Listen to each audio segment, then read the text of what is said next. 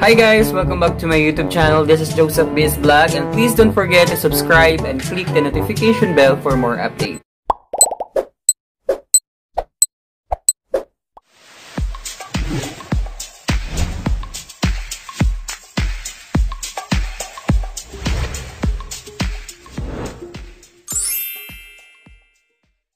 So sa video po na to ay mag ah, maglalagay po ako sa mukha ng healing clay. Healing Miracle Healing Clay. Yan. Miracle. Sorry naman. Miracle Healing Clay. So, mapapansin ninyo yung mukha ko. So, hindi naman tayo gaano kakinisan.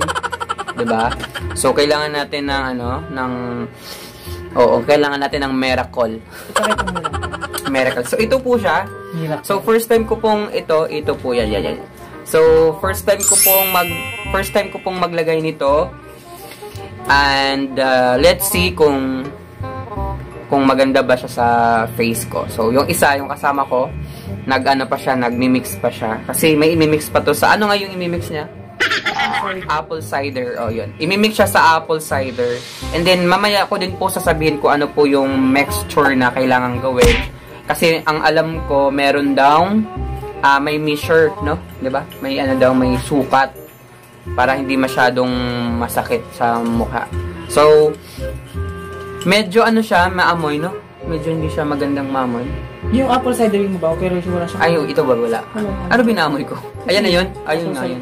Oh, so yun guys, so titignan natin. So excited ako kasi first time kong mag ah, ano, maglagay ng ito ah, Miracle Miracle. Miracle Miracle. Miracle. Ayan. Miracle. Miracle. Bisaya ka talaga. Basta mi- Miracle. Miracle Healing Clay. Miracle. Miracle. Hmm, hindi tayo English. Himala. Oh. Di, ano, oh, Miracle. Miracle. Miracle. Mi. Mi. M-I. Kaya nga, oh, pwede naman yun. Ano kasi me? Miracle. Mi? Sabi ko, mi? Ulitin. Wag na. Sabihin mo. Mm.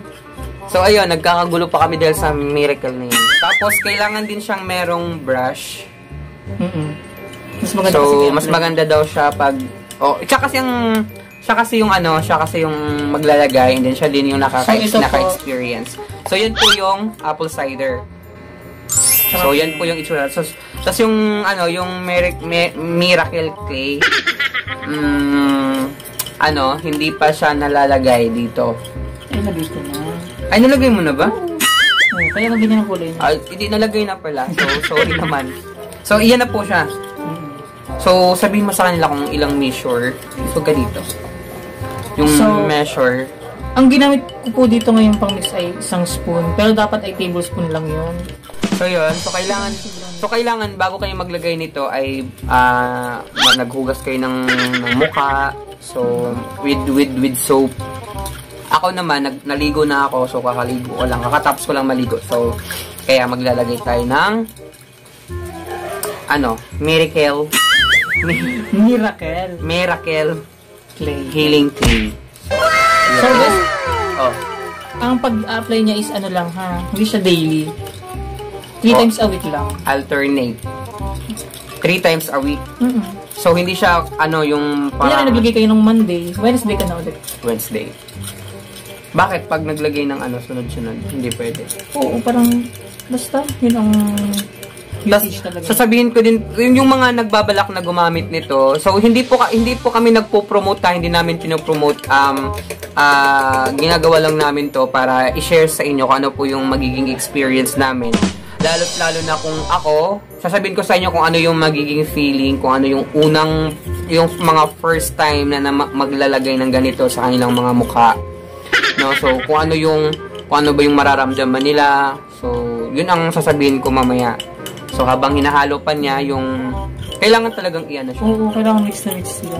I, mm. So, kailangan pag isang spoon ng tubig, Ganun din yun. Ganun din yung itong powder. Oo. Tapos yung ano, yung ano yung isa? Ganun yung apple cider. apple cider ay mag ganun din isang kutsara. So kay, yun na yun po yung mixtures mi- mixtures.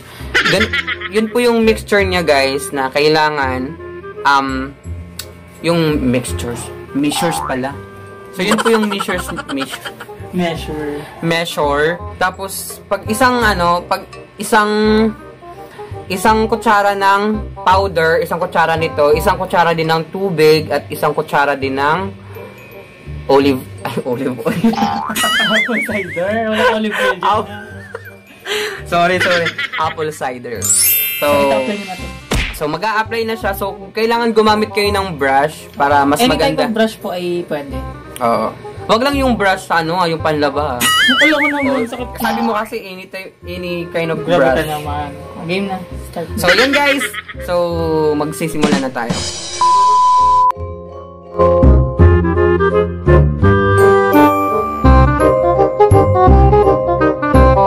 Wow! Simula tayo sa ilog. Wala pa. So, yun po. Mamaya natin siya ulit papahidan. Basta unang layer muna. Medyo ano siya, para siyang makate. O, gawa ng vinegar. Yun ang nakakapagpa ano dito. Mi- para, para siyang makate na mahapdi. Oo, umabdi talaga siya gawa Oo. apple cider. Yung ibang water ang hinahalo pero mas effective ang apple cider. Apply mo lahat ng mukha mo. Akala ko yun, di ba yung iba pag naglagay sa mukha is yung mangingitim, ganun. Ano mga ngitin? Di ba yung itim, yung i- itim yung parang... Mag-antay. Aantayin mo tuyo. Ah, so kailangan siyang patuyuin? Oo. O, ti- sabi sa'yo, first time ko eh. Sabi ko sa'yo. Unang layer pa lang naman. So, yun po guys, medyo makati siya na medyo mahapde. Yun po yung una yung may experience pag first time yung malagyan nito. So, yun.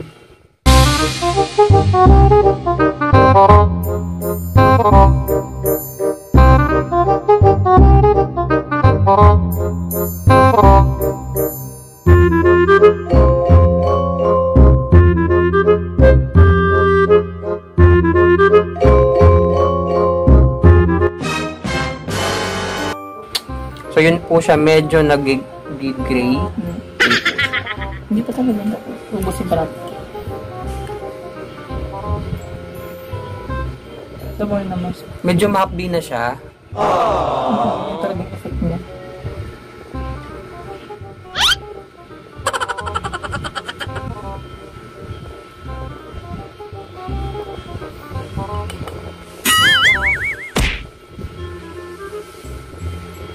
Ginusto mo to eh.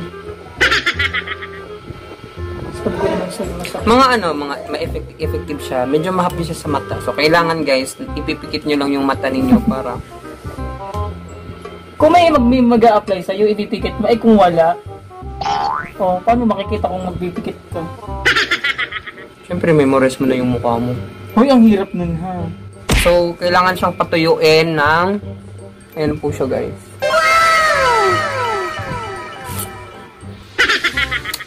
So, kailangan po siyang patuyuin ng ano... Ilang mga, mga ilang minuto. Depende. 20 minutes. Ang ganun. Hmm.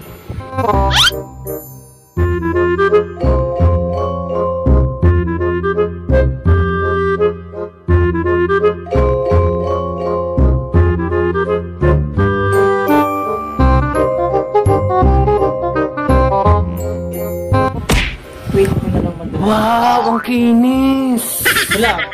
Ah, wala pa ba? Meron. Mira.